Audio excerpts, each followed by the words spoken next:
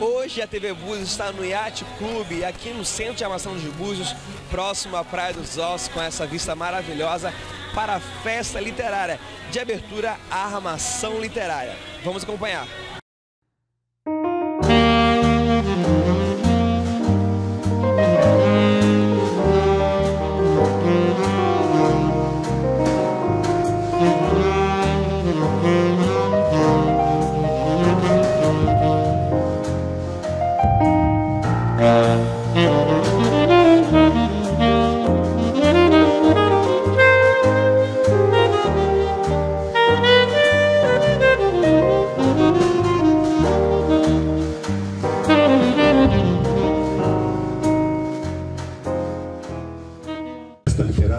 Uma vez. É um momento, eu acho, muito especial para a Armação dos Búzios, muito especial para o Rio de Janeiro, muito especial para o Brasil. A gente sabe das nossas dificuldades com a leitura e com a escrita, então esse momento é sempre motivador. Muito, muito, muito, muito, muito. Gente, eu vou falar uma poesia. Eu sei que às vezes tem gente que acha que poesia é chata, aí eu não gosto de poesia. Isso é hora de poesia. Eu sempre respondo que poesia não tem hora, Abigail. A hora que tem poesia. Então eu vou fazer, fazer um, falar um poema pequeno, estou nervoso, viu?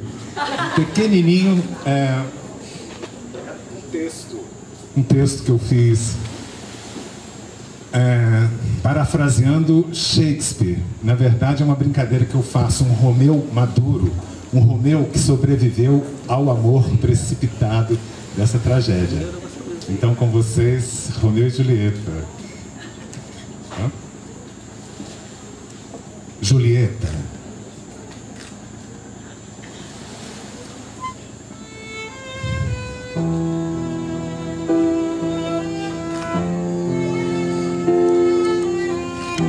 Se a tua alegria é tão grande quanto a minha, perfuma então com seu hálito este ambiente que nos cerca e que a deliciosa música de sua voz exprima a felicidade que as nossas almas sentem por este encontro tão querido.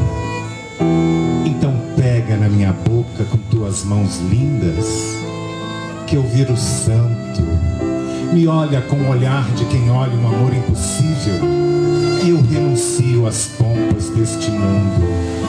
Prometo não perturbar o teu inabalável propósito de servir somente ao Senhor, mesmo porque com Deus quem irá competir?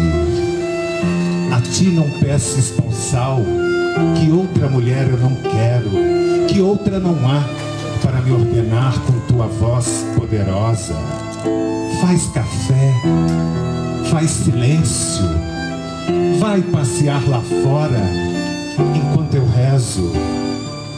Julieta, fala, me toca para eu sossegar, que eu lobo obedeço, manso.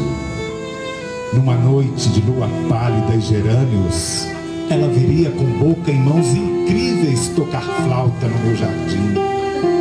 Estou no começo do meu desespero e só vejo dois caminhos: ouvir o doido, ouvir o santo. Eu que rejeito e exprobo tudo que não for natural como sangue e veias, me descubro chorando todo dia. Os cabelos entristecidos, a pele assaltada de indecisão. Quando ela vier, porque é certo que vem, de que modo vou chegar ao balcão sem juventude? A lua, os gerânios e ela serão os mesmos. Só o homem entre as coisas envelhece. De que modo vou abrir a janela se não for doido? E como a fecharei se não for santo? Quantas loucuras fiz pelo seu amor. Vê estas olheiras dramáticas, este poema roubado. Morro de sonhar contigo, ó barda. Eu estava tão fraco e teu cabelo é tão negro. Eu vivo tão perturbado, pensando com tanta força meus sentimentos de amor, que já não sinto mais fome. O sono fugiu de mim. Me dão mingaus, caldos quentes, me dão prudentes conselhos.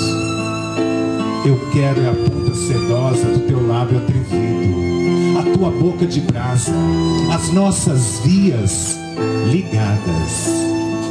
Julieta, linda, meu bem, ó meu amor, adorada. Julieta, para sempre teu, Romeu. Muito obrigado.